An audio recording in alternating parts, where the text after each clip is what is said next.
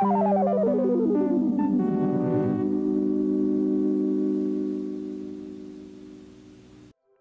Good Burger sequel has recently come out, and I have not watched it, but I, like many others, have enjoyed the first film. The main things I remember are the fire soundtrack, and of course, Ed's secret sauce, which looked high-key delicious, so of course, many have taken on the challenge of trying to replicate it. And today, it's my turn, but we're not creating a sauce with ingredients that sound good together and coloring it till it's orange. We will be carefully analyzing each and every scene that shows or mentions ingredients of the sauce to ultimately recreate it. So get your pots and magnifying glasses ready because today we are going to figure out what's really in Ed's secret sauce. Watch it? Sorry. The finished sauce appears to be thicker, so we will need a thickening agent, a blender, and ingredients that will make the sauce orange. The only two ingredients spoken straight from Ed's mouth are Start off with a little lemon juice and some ketchup. Ketchup is typically used as the base in a burger or fry sauce, so we'll use two thirds of a cup. The lemon juice will brighten up the flavor and add a nice twang as well. Ed specified that you only use a little, so we'll use two tablespoons. There are two important details in this scene. First is Ed is making the sauce in a huge pot instead of a mixing bowl, and the second is that the sauce is liquidy rather than thick when Ed is seen eating it. These two details tell us that one, Ed uses water, and two, Ed cooks the sauce. The water will help thin out the various sauces that will be added, so we'll use half of a cup. And we will be cooking the sauce to allow the ingredients to marry together. Next, Ed is seen pouring in malted milk powder, pickle slices and its juice, flakes of some sort, and a whole unpeeled onion. Malted milk powder is typically used in baked goods and milkshakes since it adds a toasty-like flavor. So while this will help us achieve the creamy-like appearance, this may affect the taste, but for the sake of accuracy, we'll use half of a tablespoon.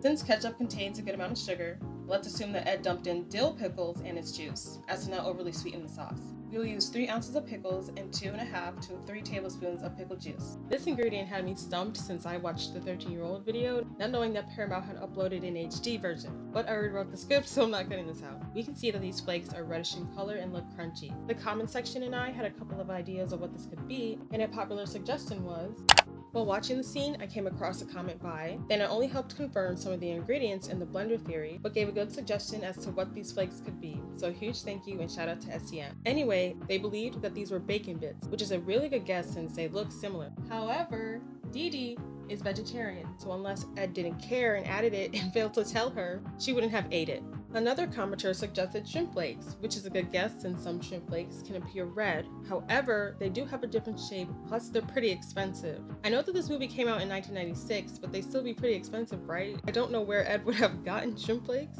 to be eaten, so I don't think they're shrimp flakes. While we're here, bonito flakes out, since they are typically a paler beige color. My first guess was red pepper flakes, however I had my doubts because who would dump a bunch of red pepper flakes in a bowl like that when you could just like shake them out? But I and another commenter noticed the shakers from pizza restaurants at this angle. Rather than for spiciness, I think these were used for flavor since Ed was seen sprinkling them in. We'll add half of a teaspoon to our sauce. Ed drops in a whole unpeeled onion in the sauce.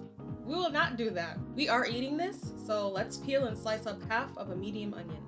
Since we already have our cutting boards out, let's mince up some garlic. Garlic is not mentioned anywhere, but garlic tastes good, and I'd assume you'd add garlic if you're cooking with an onion. Like I said, we will not add a raw onion to the sauce. Instead, we'll start off with sauteing the onions on a medium flame for about 5 to 7 minutes or until soft. While those are cooking, let's go back to figuring out the rest of our ingredients. When I said we'll be analyzing scenes, I was being serious, but do not fret, it will be quite easy. The rest of the ingredients can be found around the kitchen. Some will be more obvious, some will call for speculation, and some never appear on screen at all. So I hope you're ready for some investigating. The first thing I see is mustard. This is what will make the sauce orange, and once blended, it will add a tangy taste as well.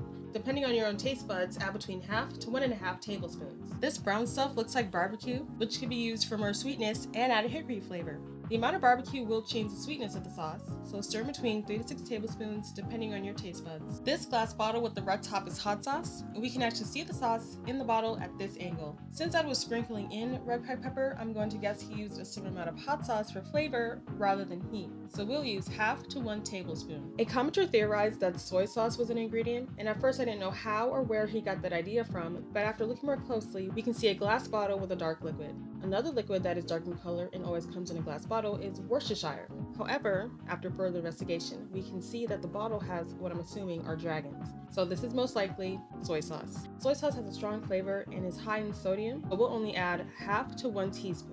At another angle, we can see that there are two glass bottles, and I'm guessing that the smaller one is in fact Worcestershire. We'll only add half to one teaspoon since its flavor is very strong. These big bottles with the clear liquid look like bottles of white vinegar. The vinegar can be used to glaze the pan and it will add a nice flavor as well. We'll only need one tablespoon. And finally, we'll be adding one teaspoon of paprika in order to achieve the vibrant orange color. We don't want our onions to burn, so we're hopping back into the kitchen. Now that our onions are cooked, add the minced garlic, paprika, and red cracked pepper flakes and cook for about one to two minutes or until fragrant. Now we will deglaze the pan with our white vinegar. This will loosen up any stuck ingredients and help with extra flavor. Then we'll add in our ketchup, lemon juice, pickles plus its juice, and water. Whisk together until smooth, and then bring to a simmer.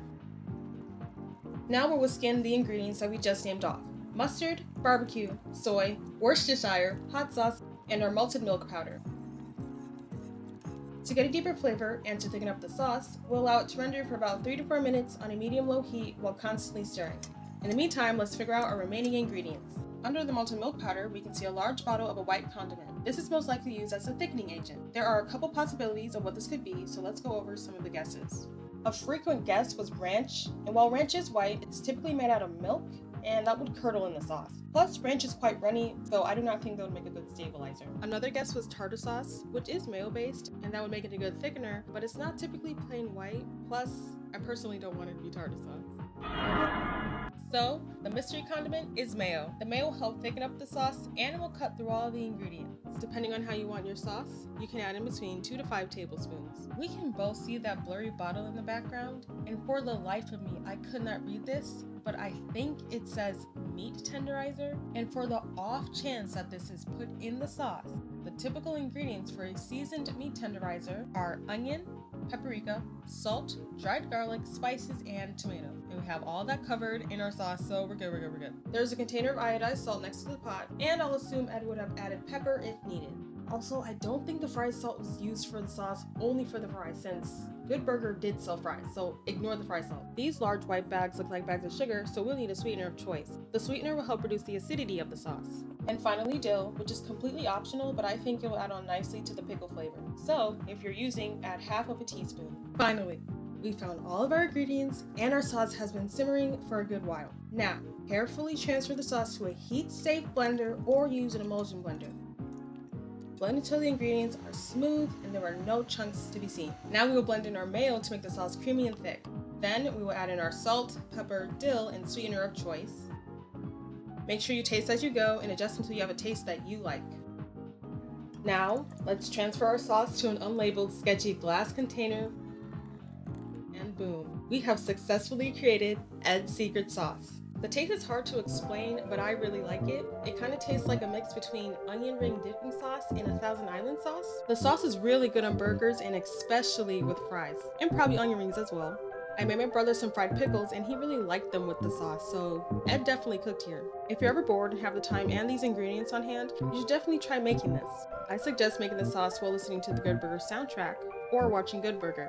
Or better yet, make the sauce, add it to a burger, or watch the movie. It would be a perfect dinner and meal idea, or maybe for a 90s team get together. I don't know. But I do know a lot of people craved this sauce while growing up and still do, so I'm happy if I can make your childhood or current dreams come true. If you ever try out this sauce, please return and let me know how it turned out. And maybe return for future videos since I'll probably make more like this because it was really fun to make. Thank you so much for watching and have a great day.